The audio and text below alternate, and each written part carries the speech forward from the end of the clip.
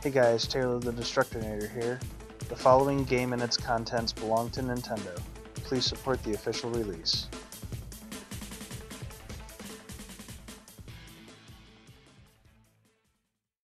Last time on Metroid 2.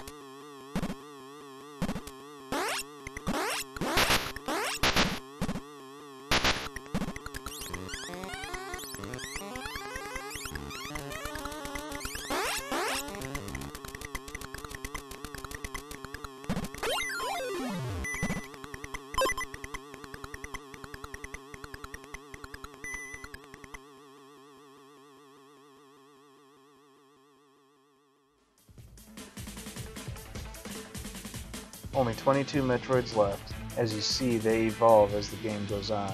Things are going to start getting more challenging from here, but I'm slowly getting there. If you liked what you saw, please go ahead and subscribe, and I'll see you guys later.